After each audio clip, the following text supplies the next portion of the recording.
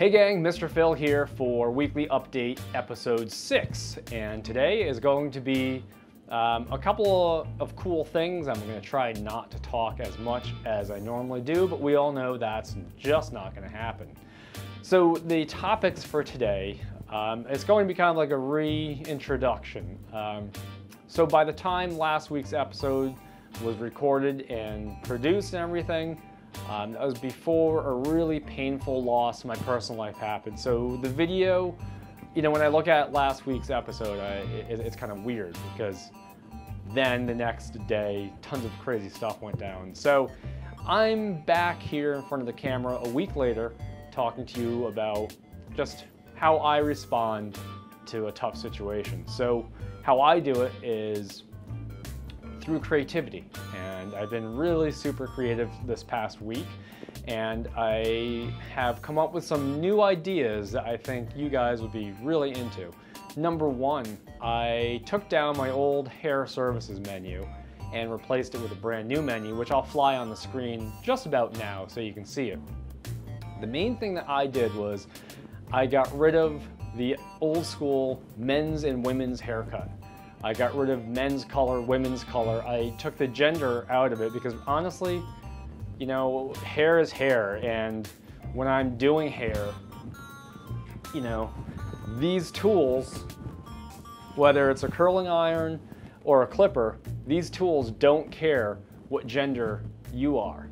So why should I? And so why should I price things in that old way?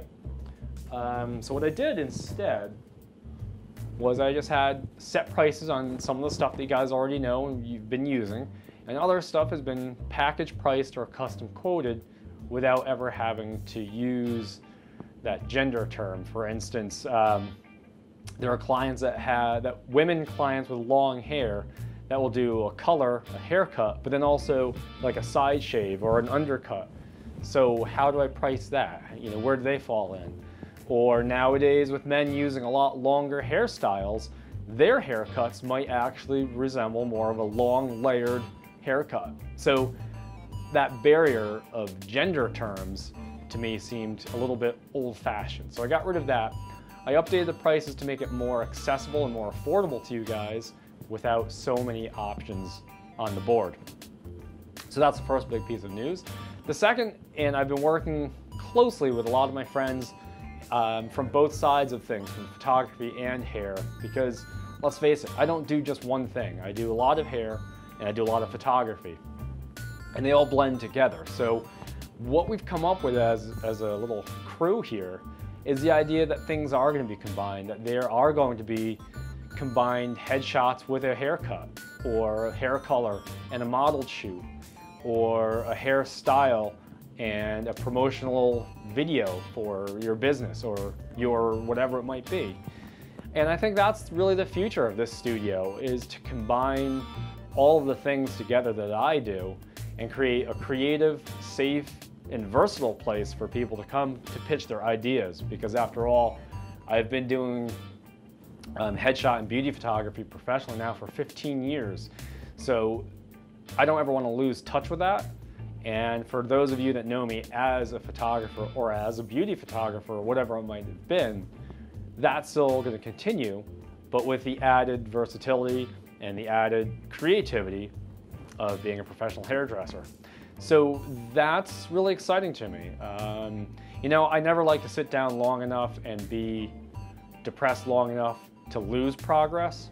Um, I think my little personal aside today is to say this, that I try to be as positive and creative as I can, no matter what the circumstance, least of all during um, a painful or negative experience. So, um, yeah, we're to start combining some stuff, and I'm really excited to see what ideas you guys bring to me coming up in the next days and weeks. Um, I'm now running headshots, model photography portfolio, those things um, photo shoots are starting at $75 and we can pair that with your hair services and create some really cool packages. Um, the reason why I'm doing it, and I'm gonna, I might edit this out later for time constraints, but what I'm aiming to do is create something different because oftentimes when I'm, let's say, doing a haircut, I'll have an idea in my head of how a photo shoot after that could be really cool. And in years past, you'd have to go to your barber or your stylist, then you'd have to go find a photographer, then it would just waste a lot of time. So I'm merging everything together to make it more efficient time-wise and more efficient money-wise. But that's really it, guys, for this week. Um, short, quick video, just giving you some updates on where I'm headed for 2017. And um, I'm always looking for new people to come in to be part of either hair photos or hair and photos. So if you have someone that you'd like to refer that you think would be a good fit for me here in the workshop and vice versa, um, send me a private message on Facebook Messenger or text me and I'm gonna start a rewards program um, for you guys. I've been talking about it for a year now, but I, I think I have an outline of how I want to do it. So that's it. As always, guys, thanks for watching, and this is Mr. Phil signing off.